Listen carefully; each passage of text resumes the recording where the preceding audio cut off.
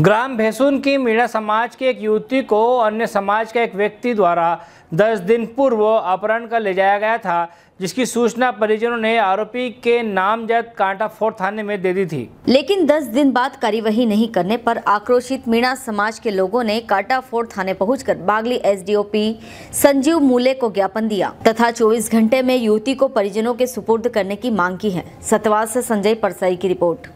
आज ऐसी करीब दस बारह दिन पूर्व ग्राम भेसुन में हमारी समाज की एक बालिका का कुछ हरदा ज़िले के लोगों के द्वारा घर से अपहरण कर लिया गया। उक्त घटना को 10 दिन बीत चुके हैं। कांटाफोड़ पुलिस ने अभी तक कोई संतोषजनक कार्रवाई नहीं करी। बालिका को ढूंढना तो दूर कोई सुराग भी नहीं जुटा पाई है। उसी क्रम में मीणा समाज में भारी आक्रोश से आज हज़ारों की तादाद में लोग उपस्थित हुए। पुलिस थाने पर और कांटाफोड़ पुलिस को 24 घंटे का समय दिया गया है।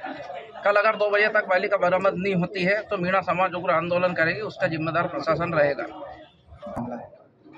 ये घाटापुर थाना क्षेत्र का भैसुन गाँव है, वहाँ से एक लड़की लापता हुई है बारह तारीख को जो कि बालिग है, जिसकी रिपोर्ट थाने पर हुई थी।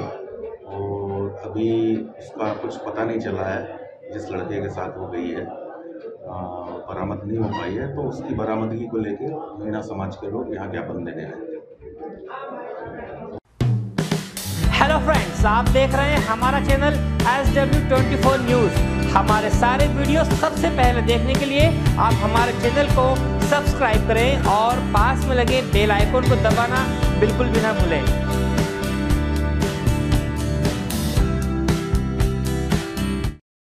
बागली के प्राचीन जटाशंकर तीर्थ स्थल पर पाँच दिवसीय मेले का आयोजन किया जाता है।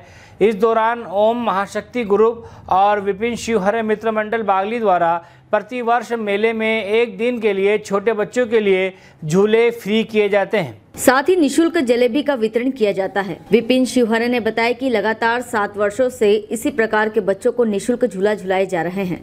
वहीं जलेबी का वितरण किया जाता है। जटाशंकर बाबा से प्रेरणा लेकर यह कार्य प्रारंभ किया था, जिसमें प्रतिवर्ष लगभग 30 से 40 क्विंटल जलेबी का वितरण मेले में आने वाली जनता को किया जाता है। सोमवार की शाम को भी बच्चों के लिए झूले फ्री किए गए। साथ ही लगभग 40 क्विंटल जलेबी का वितरण किया गया। इस आयोजन में खास बात यह है कि जो जलेबी वितरण की जाती है, वह मेले में लगी दुकानों से ही खरीद कर वितरण की जाती है। बच्चे भी उत्साह के साथ झूलों में झूले के साथ ही जलेबी के भी आनंद लेते हैं। बागली से रवि पाटीदार की रिपोर्ट। हेलो फ्रेंड्स आप देख रहे हैं हमारा channel S W twenty four news हमारे सारे वीडियो सबसे पहले देखने के लिए आप हमारे चैनल को सब्सक्राइब करें और पास में लगे बेल आइकन को दबाना बिल्कुल भी ना भूलें।